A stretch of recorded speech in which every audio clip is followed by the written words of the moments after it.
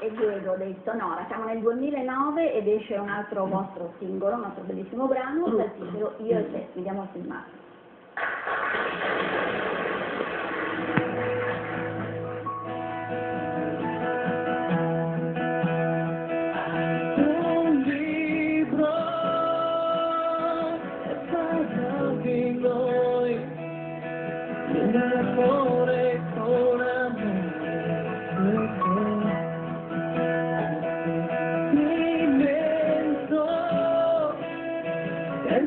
time.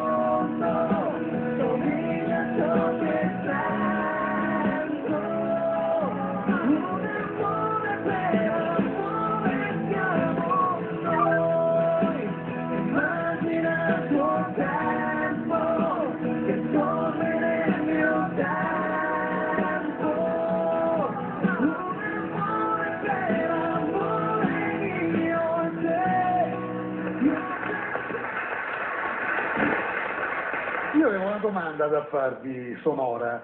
Voi avete partecipato a Sanremo nel 2008 e nel 2010, giusto?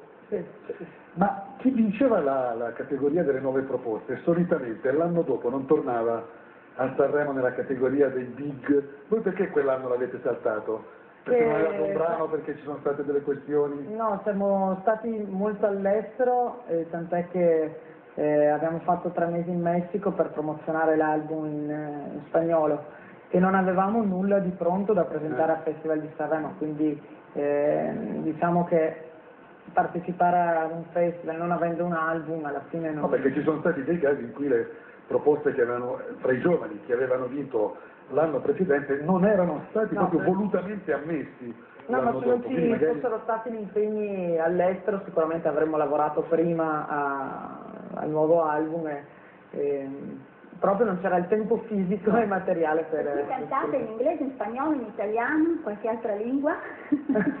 per ora, no, per ora dai, ci concentriamo a fare bene anche i prossimi progetti in italiano, soprattutto che è la nostra lingua e anche in inglese magari. Complimenti. Allora, parlando proprio di Sanremo nel 2010, come ha detto prima Antonio, avete partecipato, scusate, partecipato con questo brano che si intitola Baby e c'era anche Dodi Battaglia. Vediamo Esatto. filmato.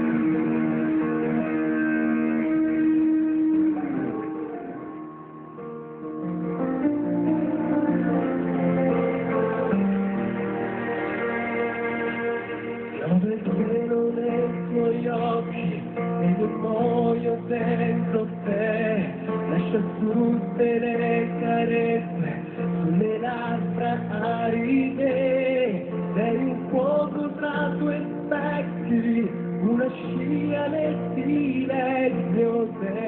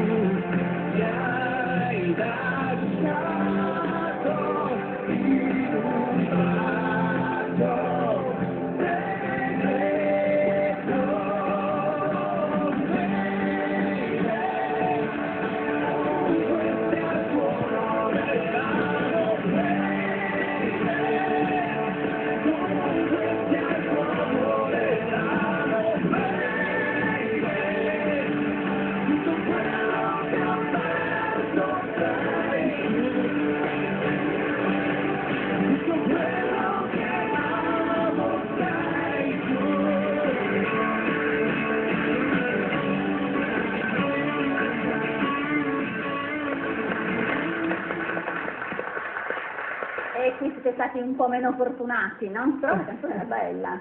Ormai avete dichiarato che siete forse arrivati un po' meno concentrati?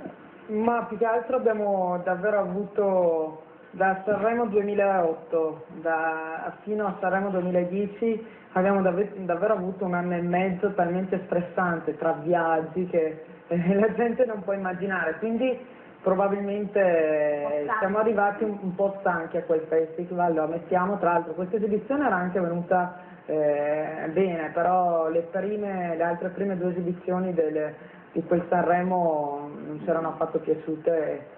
ehm, più che altro era- eravamo un po' piatti e un po' stanchi, eravamo arrivati un po' stanchi al festival, quello sì. E circa queste esigenze di, di marketing eh, di cui accennavate prima, eh, eravamo prima in camerino, Ma più che altro qualche- sì, perché sai quando esce un artista, poi tra l'altro noi avevamo avuto davvero eh, un grandissimo successo con eh, il primo album, eh, visto che aveva venduto 120.000 copie, il successo all'estero, di conseguenza siamo stati davvero per un anno e mezzo spremuti all'inverosimile e, e comunque poi alla lunga eh, tutto questo stress eh, si sente. Si è fatto un po' Si è sentire. fatto un po' sentire in questo festival. Bene, torniamo